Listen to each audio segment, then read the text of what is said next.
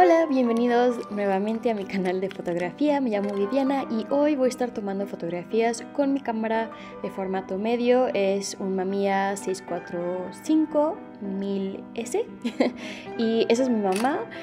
Y quería aprovechar el clima que estaba perfecto para tomar fotos en blanco y negro. Y en serio que me fascinaron cómo quedaron esas fotografías.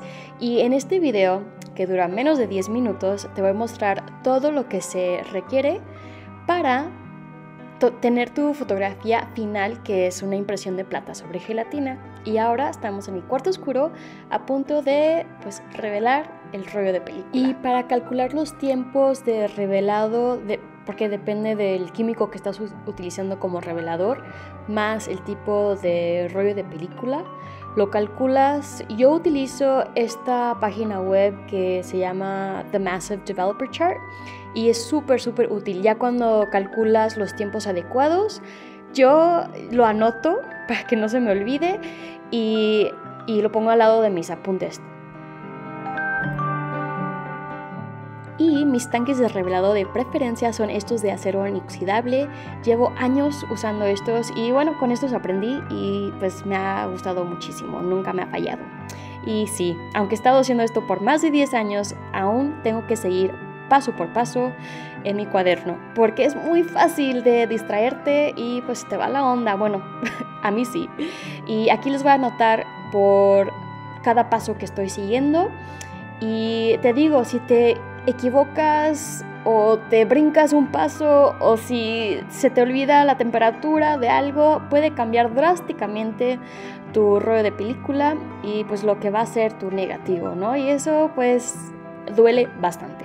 Así que les recomiendo mucha paciencia y dedicación y atención porque pues no quieres equivocarte porque sí, sí está feo. Y ojo, el fijador nunca se echa por el lavabo. Este químico es súper dañino y bueno, hay una forma adecuada de reciclarlo, bueno, deshacerse de este químico. Y por el lavabo no lo es. Así que este es el último paso de químicos. Después de esto lo voy a estar lavando con agua y también eh, importa mucho la temperatura de agua lo vamos a seguir lavando con agua. Este siguiente aparato que voy a usar me encanta, me lo regaló un amigo hace tiempo. Él se estaba deshaciendo de muchísimo equipo de foto, de, bueno, de cuarto oscuro y me regaló esto. Llevaba mucho tiempo queriendo uno y además facilita mucho limpiar el negativo. Es bastante útil. Híjole, mentí. Si hay otro químico, es el PhotoFlow de Kodak y esto es para prevenir marcas de agua en tu negativo y es bastante útil. Solo necesitas poquitito, rinde bastante. No manches, esta es mi parte favorita, se ve hermoso, estoy súper emocionada. Estaba nerviosa porque esta cámara había tenido problemas previamente y no salió negativo, así que ahora salió divino y me encantó. Y bueno, aquí no encuentro un aparatito para limpiarlo, pero mira, con mis dedos puedo quitar el exceso de agua. Yo sí lo hago seguido y nunca he dañado mi negativo. Además tienes que tener bastante cuidado. Y los negativos sí son súper sensibles, se les pega cualquier cosa fácilmente. Así que para secarlos yo uso este gabinete que me acaban de regalar. Y eso para protegerlo de polvo no es necesario. Nada más lo que sí es un espacio limpio. Así que puedes colgarlo donde sea libre de polvo. Y este de madera ha sido muy útil y estoy afortunada de tenerlo. Ahora el día siguiente vamos a hacer la hoja de contacto y estoy usando estas hojas de plástico para archivar los negativos. Y mira, me fascina, eh, quedaron súper bien. Estaba algo nerviosa con esos negativos, pero quedaron bien. Y claro, es muy importante siempre mantener el espacio limpio, las charolas, todos tus, tus materiales, porque es fácil de contaminar. Claro, guantes y un trapo siempre necesario. ¿Quieres mantenerte a ti limpia también? Y me acordé de checar el fijador, ya sentía que estaba bastante viejo y lo comprobé, sí lo está. Así que ahorita lo que estoy haciendo con fijador viejo es lo estoy colectando para cuando ya tenga bastante eh, fijador viejo para llevarlo a un lugar adecuado para deshacerme de él. Porque recuerda, no va por el lavabo. Y ya tenemos nuevo fijador, así que vamos a ir adelante y eso es hacer la hoja de contacto, lo cual sí recomiendo bastante. Ya sé que quieres cuidar tu papel lo más que puedas. Yo, bueno, así siempre lo veo, estos materiales son carísimos y pues duele desperdiciarlo, pero sí es importante la hoja de contacto. Te ayuda muchísimo decidir en qué foto vas a, pues, a querer hacer una impresión de plata sobre gelatina.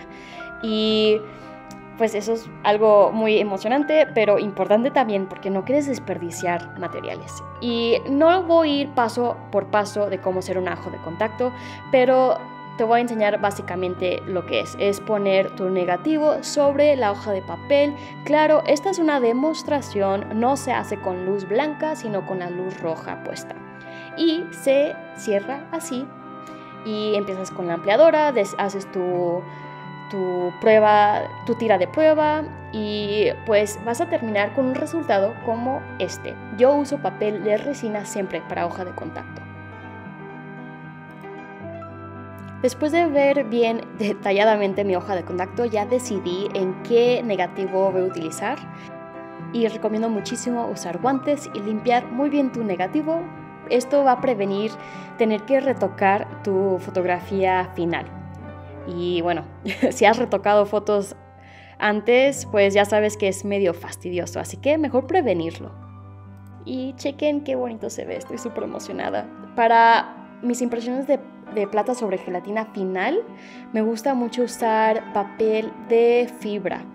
Y mi tamaño favorito es 11 x 14 pero claro, no me quejaría tener papel 16 por 20. Ese es ideal, pero carísimo. Así que en ocasiones especiales. Eh, mi ampliadora es un Bessler 67S y me encanta usarlo.